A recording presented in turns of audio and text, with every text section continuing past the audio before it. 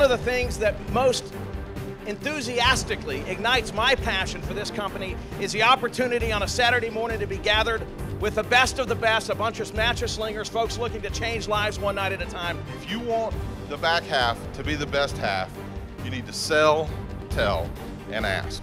I love Mattress Firm's positive sense of discontent. And that's why we're here today is to hear more of those questions to continue to fuel our company.